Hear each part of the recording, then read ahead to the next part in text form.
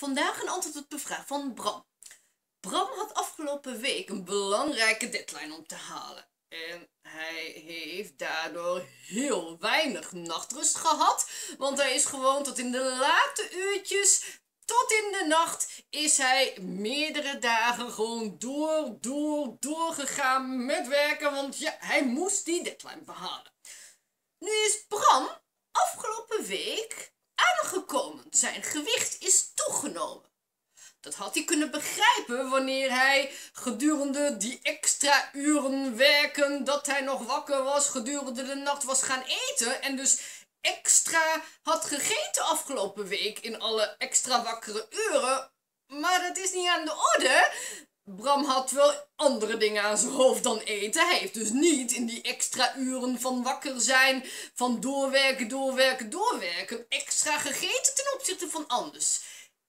Daardoor snapt Bram niet hoe het kan dat zijn gewicht is toegenomen. Dus de vraag van Bram is, hoe kan het dat mijn gewicht is toegenomen afgelopen week terwijl ik niks meer dan anders heb gegeten? Hoe kan dat? Nou, Bram, wanneer je gewicht toeneemt zonder dat je meer dan anders hebt gegeten, dan betekent dat dat het verbruik in je lijf lager was ten opzichte van anders. Wanneer dat het geval is namelijk, kun je van eenzelfde calorieinname, eenzelfde hoeveelheid voeding aankomen toenemen in gewicht, terwijl het normaal gesproken niet aan de orde is. Dus moeten we het gaan hebben over het verbruik in je lijf. En wanneer dat laag zal zijn en hoe kennelijk het maar door, door, doorwerken en daardoor weinig nachtrust hebben, daarop van invloed is.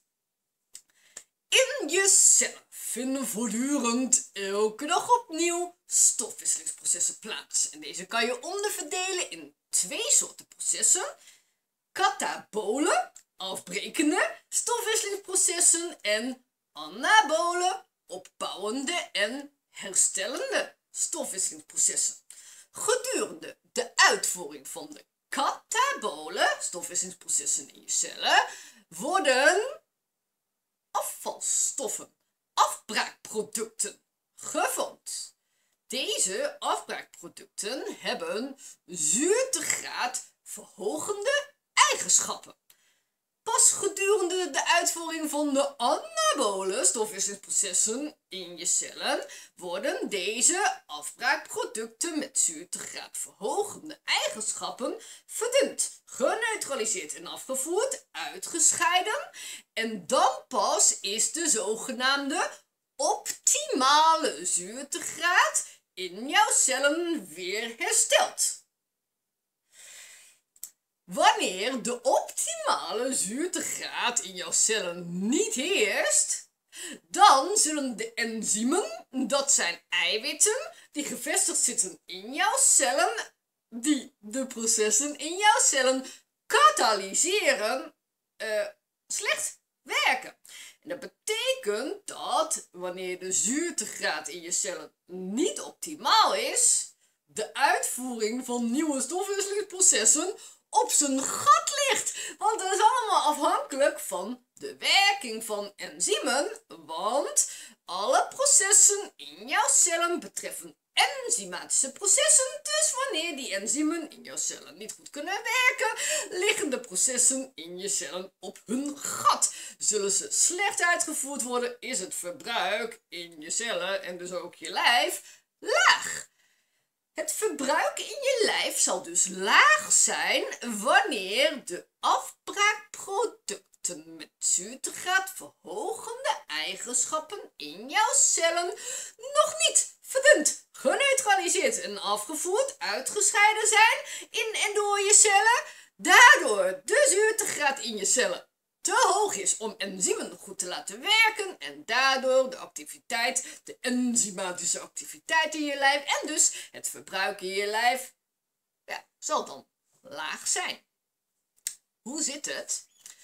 In tijden van activiteit, in tijden van geestesactiviteit, um, vindt, vinden vooral katabole afbrekende stofwisselingsprocessen plaats. Dus die processen waar de vorming van die afbraakproducten met zuurte gaat verhogen eigenschappen um, het gevolg van is.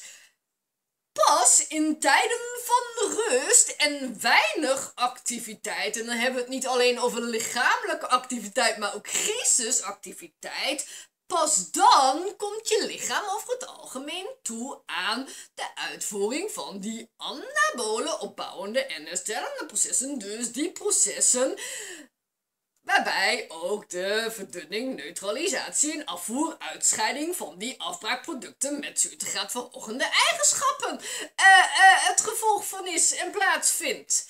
Dat betekent dat wanneer jij veel meer uren wakker bent geweest ten opzichte van anders en geestesactiviteiten verrichten had ten opzichte van anders. En daardoor je nachtrust is afgenomen ten opzichte van anders, dat er veel meer uren in je dag aanwezig uh, waren waarin vele katabole afbrekende processen plaats hebben gevonden in je cellen met de vorming van zuurtegraad verhogende afbraakproducten in je cellen tot gevolg. En dat er veel minder uren op de dag waren waar je lichaam toe kon komen aan anabole, opbouwende en herstellende processen en dus de verdunning, neutralisatie en afvoer, uitscheiding van die stoffen met zuurtegraad verhogende eigenschappen.